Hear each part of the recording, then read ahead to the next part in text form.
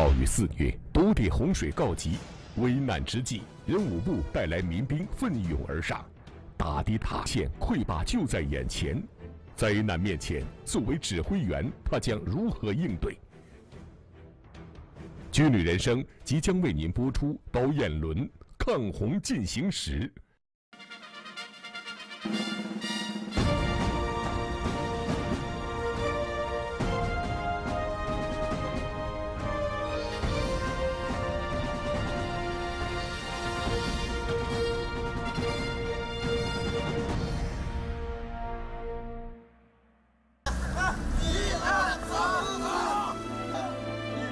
我叫包彦能，是山东省昌乐县任务部政委。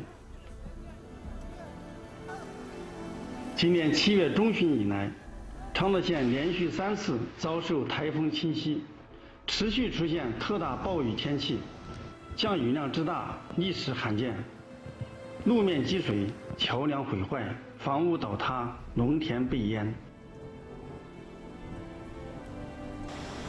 面对这次天灾，任务部紧急出动民兵参与抗灾救灾，我们连续奋战，抢救受困群众，挖渠筑坝，排涝除险，帮助他们渡过难关。灾难无情，人间有爱。在这场与洪水的战斗中，我们任务部迎难而上，奋力抗灾，用肩膀扛起灾区百姓的希望。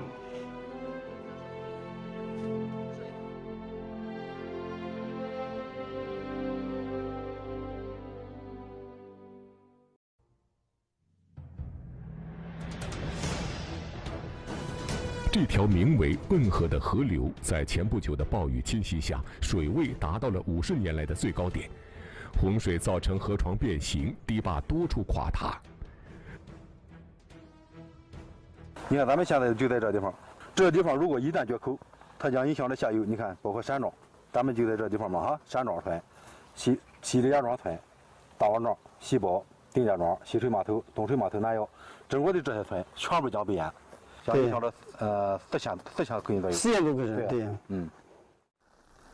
八月二十日，温比亚台风来袭，长乐县出现连续强降雨天气，水库泄洪，加上支流汇聚，汶河水量急剧加大，当地人武部被紧急调往汶河抢险。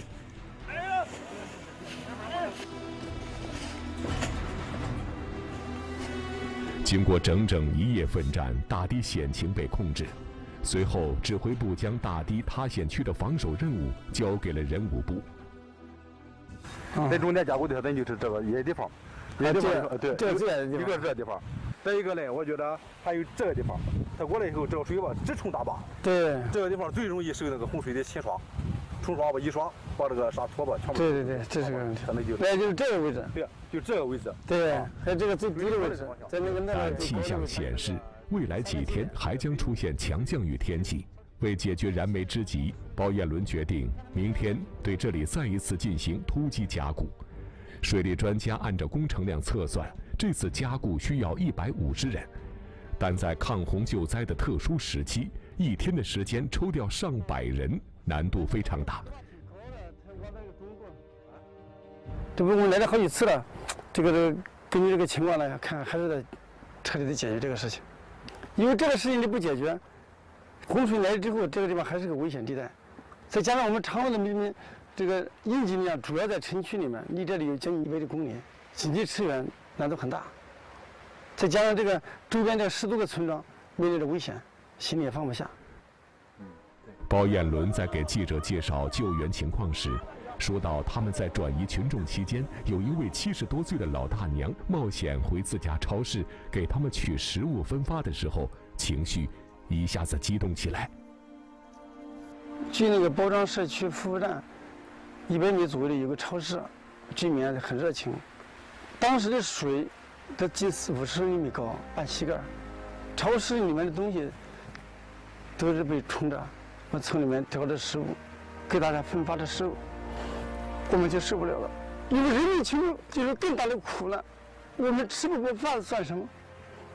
我们最大的任务是让人们减少苦难，早日回归正常的生活。包彦伦军校毕业后，从干事、科长再到政委，一直从事人民武装工作，对国防动员、民兵训练、征兵有着丰富的经验，获得过全军优秀指挥军官、荣立二等功，曾经也组织过森林救火和雨季防洪，可毁灭性如此大的洪灾，他还是第一次遇到。现在因为灾后重建任务比较重，人员都在这个进村入户，都在点上报靠，开展灾后重建工作，所以这个现在抽调任务越来越难。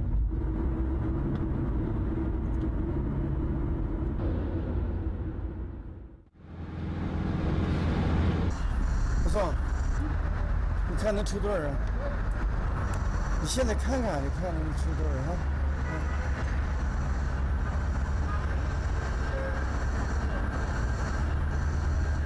啊，行行行，十个八个五个都行，有几个算几个啊。抓紧时间，我跟你说，你抽点人员，别的事以后再说。包彦伦从汶河大堤上回到人武部，还没有来得及和其他人磋商补堤坝的事儿，值班室就报告，有受灾军属需要帮助。调人的事儿虽然迫在眉睫，但帮助受灾军属也刻不容缓。于是包彦伦来到受灾军人家里。现在可以住了。嗯，没住，没在家。哦，不能住。嗯，都是从南边拴一根绳子，从这边。哦，从绳子就是。因为水，因为水太大，我们。当时过到房子这么高了。水水位线。哎呦，水位到这儿了，那个。啊。水位到这儿了。嗯，很高很高了。这是他寄来的荣誉证书。哎。哦。你看都泡了。一七年多。嗯，就是个去年寄过来。我哎呀，我前几天我都没敢，我都没敢做。没敢跟他说，他现在知道了吗？他现在他他我是说，那咱们潍坊是不是那个防水的？我说啊，有点吧。我说他说受光最大。我说嗯，我就跟他那么说，我怕他分心。对。没跟他说，那天才指导员也打电话，我说啊，家里受了点损失。不是，你反正他也回家也帮不上，不能回家也不能帮，你这样只能叫他分心。所以你困难给我们打电话也是是吧？我们武装部就是。给我们当地军属搞我老公吧，他不身体不好，生病了身子，身体不好，家就我们两个人在家。他叫王新荣，家里受灾后一直对部队服役的儿子和女婿隐瞒着灾情。丈夫身体患病，体力活做不了，家里的桌子、柜子、沙发等大件家具都被洪水浸泡，束手无策之际，向人武部求助。把这个慢慢，我来我来我来。一二三，好，咱你亲戚，把这个，嗯，不用管了，嗯，放垃圾的地方都是处理着。来，哎，慢点抓，再快点。嗯。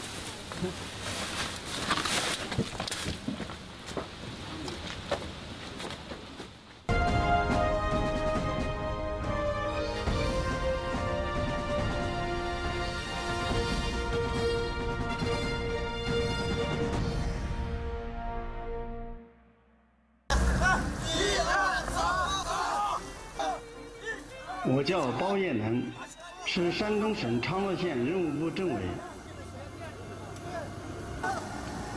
今年七月中旬以来，昌乐县连续三次遭受台风侵袭，持续出现特大暴雨天气，降雨量之大历史罕见，路面积水，桥梁毁坏，房屋倒塌，农田被淹。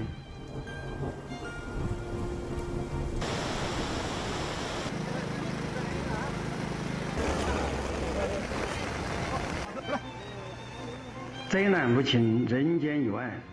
在这场与洪水的战斗中，我们任务部迎难而上，奋力抗灾，用肩膀扛起灾区百姓的希望。军旅人生正在为您播出《包彦伦抗洪进行时》。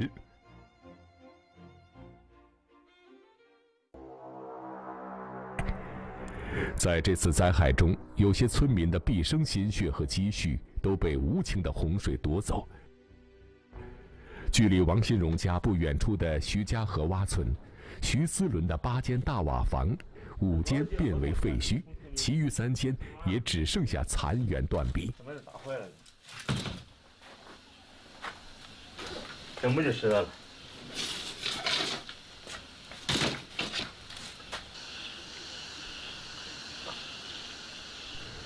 陈思伦家遭到两米多高的洪水侵吞，当时夫妻俩撤离及时，身体没有受伤，但房屋却被洪水摧毁，无法居住。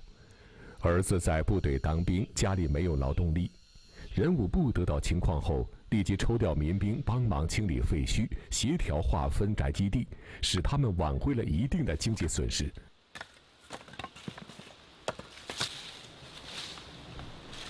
跟别人清了去了，还没清完。目前，陈思伦夫妻临时住在村委会，他们已经有了一块二百三十平方米的新宅基地。施工时，人武部带领民兵帮扶重建。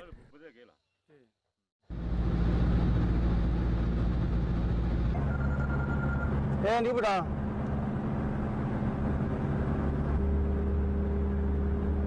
啊，是，啊，正在修水库啊。派派需要多少人？人员都派出去了，这样我得想办法再再再抽调一些人员从其他地方抽兵，好吧？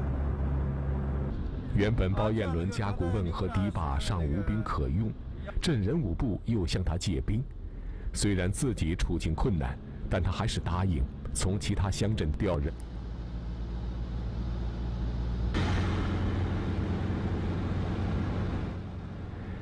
刚刚放下电话，包彦伦就收到妻子已在县医院门口的短信。十天前，他的妻子做了两处妇科手术，出院后今天是第一次复查。早晨两人说好一起去，可眼看到了要和医生约好的时间了，包彦伦还是没有回来，他只好一个人先去了医院。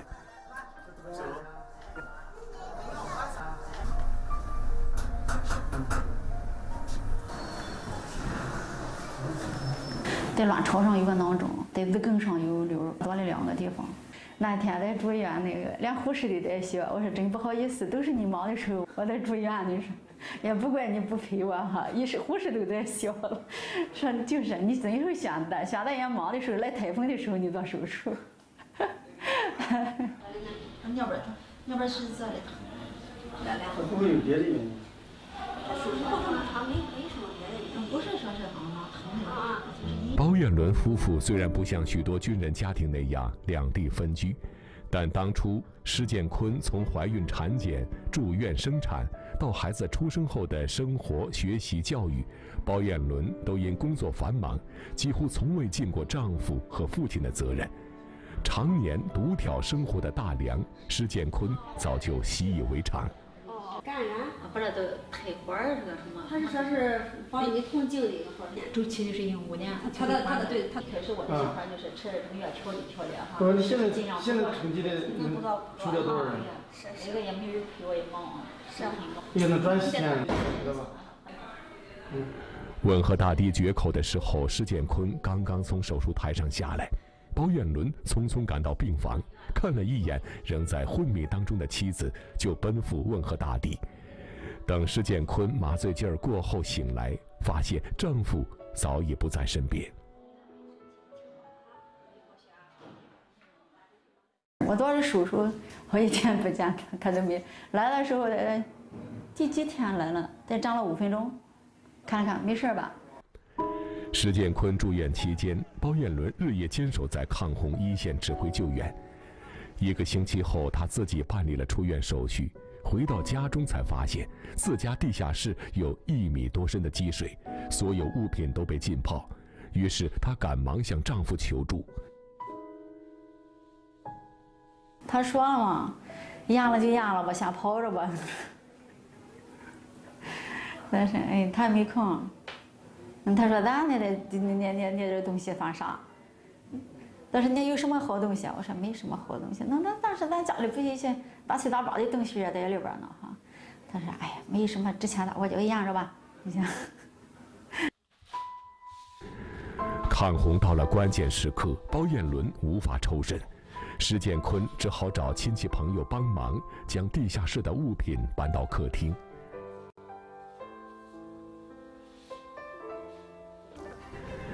人武部在前期转移群众、固守大堤时，民兵按照建制应急连进行救援；当救灾工作转入生产恢复时，民兵分散在各乡镇受灾点进行除杂清沟、疏通道路、查险固堤等任务。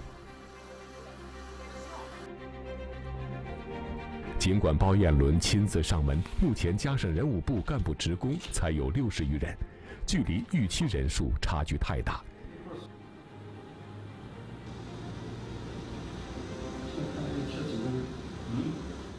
当前这个出作人员他有一定难度，但是在难度面前不要紧，因为我们救援是第一位的，从多方位的进行抽调，然后集中起来进行再进行一次突击。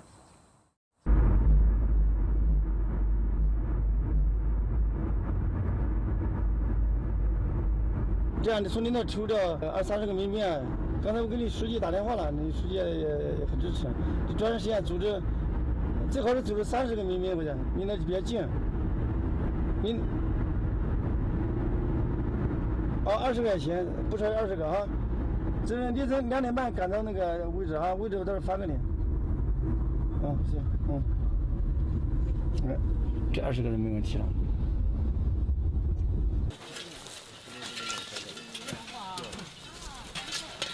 包彦伦经过多方解兵，最终集中起来九十个民兵。虽然没有达到预期人数，但让包彦伦感到欣慰的是，灾后重建的特殊时期，竟然借来一台挖掘机，有效地提高了施工进度。走吗？来，再来。好，就地放行，就地推倒扎上杆，然后再来装了吗？装了，装。绳子呢？扎上。都明白了，都下来几个。一二三，就完了。包彦伦最终在降雨来临之前完成了堤坝加固任务。虽然只有重新修筑才能做到万无一失，但在抗洪的特殊时期，人武部官兵尽了自己最大的努力，想方设法把凶猛的洪水牢牢地控制在堤坝内。最大限度地保护了人民群众的生命和财产安全。群众若有难，挺身往前站，抢险当先锋，干洒血和汗。